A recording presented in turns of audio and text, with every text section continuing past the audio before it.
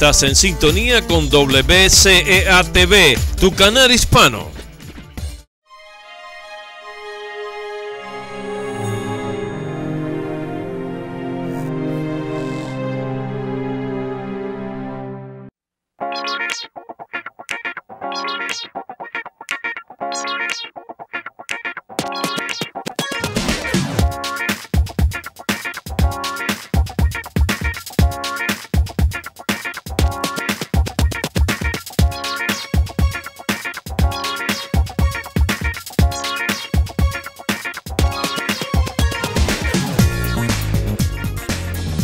Bienvenidos a El Planeta Hoy. Estamos aquí directamente desde las oficinas de El Planeta en Chelsea y tenemos hoy un invitado muy especial. Bueno, ustedes amigos televidentes saben quién es o qué hace el fiscal general del Estado. Les vamos a explicar un poco, porque justamente la persona que tenemos hoy aquí en El Planeta Hoy está corriendo para esa posición en las próximas elecciones. El fiscal general de cada estado la función que cumple es ser el consejero legal del Estado. Él es el consejero en jefe del Estado en los asuntos legales. También es la persona que podría ser la principal en el cumplimiento de la ley en ese estado. En nuestro caso, en Massachusetts. El cargo de fiscal general en la mayoría de los estados de aquí de Estados Unidos es un cargo de elección popular.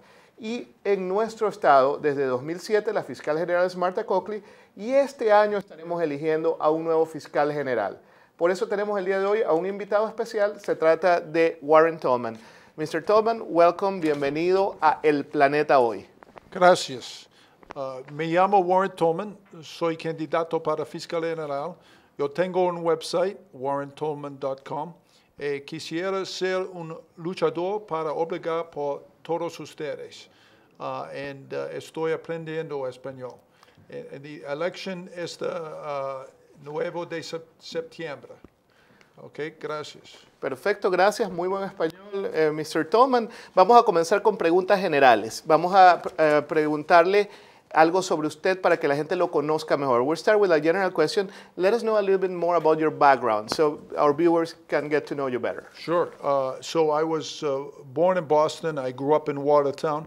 My mother and father started our family in a federal housing project in Boston and then moved over to Watertown where I grew up. I'm the seventh of eight kids. Uh, the first, I, I went to the Watertown schools, and then I was the first in my family to go to college and went to Amherst College and then BC Law. Wow, Tolman viene de una familia muy grande con ocho hermanos y él eh, estudia, ha estudiado y ha vivido en Watertown ah, y ha sido el primero de su familia en ir al college. Eh, el the college was Boston College. Uh, Boston College Law Boston School, College Law School. but Amherst College was uh, undergrad. Perfecto. Entonces en Amherst College él estudió su undergrad y se graduó de leyes en Boston College, una muy prestigiosa universidad aquí en Massachusetts y en el resto del mundo también.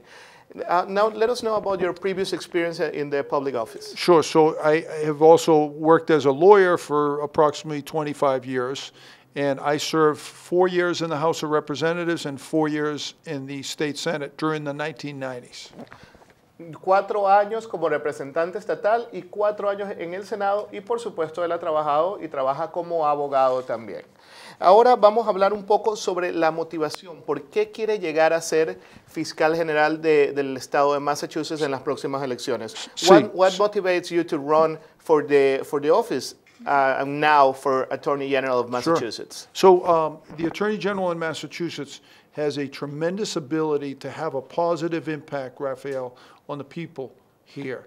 And I want to use that office to try to help people on consumer protection, to deal with the, the heroin, the narcotic problem in, in Massachusetts, to focus on gun violence in our communities, and, and to address a number of issues that have not been addressed.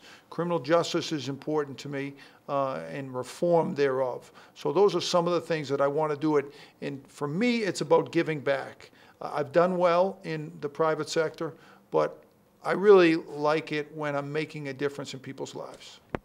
Bueno, nos explica el señor Tolman que quiere hacer la diferencia en la vida de las personas, pues el puesto de fiscal general del estado de Massachusetts tiene mucho poder para hacer un cambio y para hacer un impacto positivo en la vida de todos nosotros. Algo que muchas veces no nos imaginamos, pero ustedes, amigos televidentes, la vida de todos ustedes puede ser afectada por las decisiones que se tomen desde la Fiscalía General del Estado. En el caso del señor Tolman, muchas de las, muchas de las cosas que él quiere abogar por son la protección al consumidor, también quiere atacar lo que es la epidemia de drogas, de narcóticos y la violencia en general. Vamos a discutir más adelante algunos de esos puntos. We're going to discuss more like some of those points sure, sure. in, um, later in the interview. And in terms of, you know, I, I had run for governor in 2002 and I wasn't planning on running again, but the marathon bombers came to my neighborhood in Watertown, which is where I've lived all my life.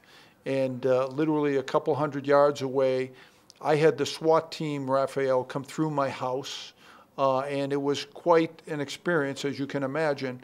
And it made me think about my role and whether I could make a difference again, as I had working on, took on the tobacco industry, worked on domestic violence initiatives, tried to make a difference in people's lives, as those brave men and women were doing, trying to protect me and my family that day.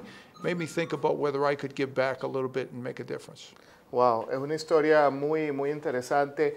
Eh, nos cuenta el señor Toman que él corrió para gobernador en el pasado y no pensaba volver a lanzarse eh, para ninguna otra posición pública. Sin embargo, un hecho dramático que fue justamente lo que pasó con el maratón de Boston en 2013, cuando después de, de que pusieron eh, las bombas, los, eh, los, sospechosos, los terroristas, se escondió uno de ellos en, en, el área de Wartown. Entonces la policía, como ustedes todos lo saben, fueron las fuerzas especiales, el SWAT, a buscar a, esta, a este hombre, a este sospechoso, y pues invadieron prácticamente todo el sector de Wartown y hacían preguntas, entraron a la casa de él a, ver este, si había algún posible indicio, alguna pista.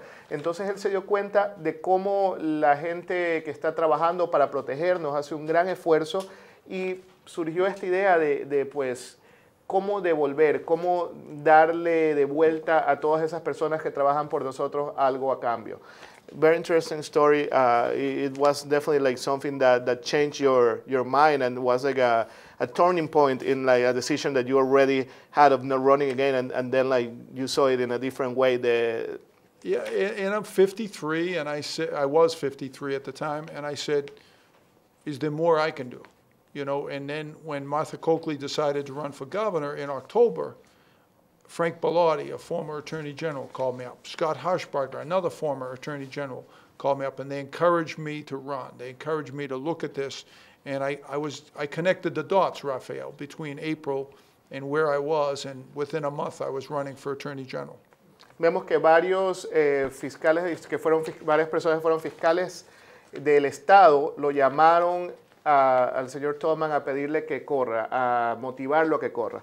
Now, Mr. Tolman, you mentioned that you want to be uh, a force against the narcotics crisis. and also about the, the, the gun, do you want to do something against the gun violence.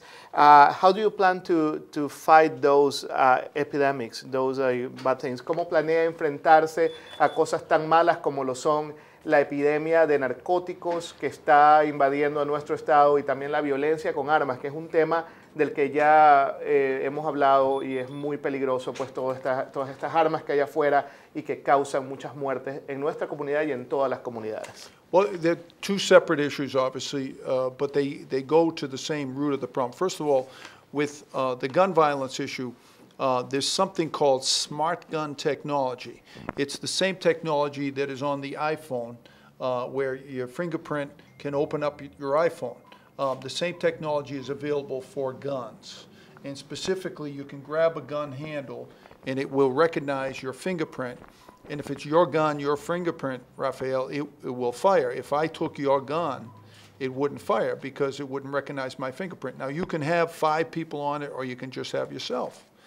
This technology has been around for almost 15 years, but it's not available anywhere in the United States. So I want to make it available which will cut down on accidental gun deaths, obviously. It'll also cut down on gun trafficking.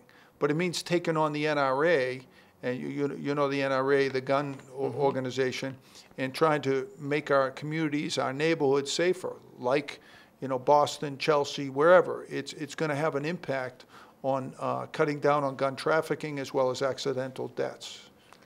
Muy bien, tenemos la primera parte de, de, la, de, la, pregunta que yo le hice, que fue acerca de las armas, y nos explica que hay una tecnología de armas inteligentes que ya lleva 15 años de existencia, sin embargo, no está disponible en los Estados Unidos, pero él quiere abogar para que esa tecnología esté disponible y así es muy parecido a lo que pasa con los teléfonos celulares. Cuando usted pone sus huellas digitales, en este caso en el arma, funciona solo si esa pistola pertenece a usted. Si alguien más la, la, toma, no funcionará. Entonces así se evita que se pasen las armas de una persona a otra y que haya tráfico ilegal de armas. Ahora vamos a averiguar cuál es la estrategia o qué es lo que planea el señor Tolman de llegar a convertirse en nuestro fiscal general hacer con el problema la epidemia de las drogas. Now let's talk about the, the drugs epidemic. Once on the guns, the, the, the Attorney General can require this technology on new guns sold in Massachusetts.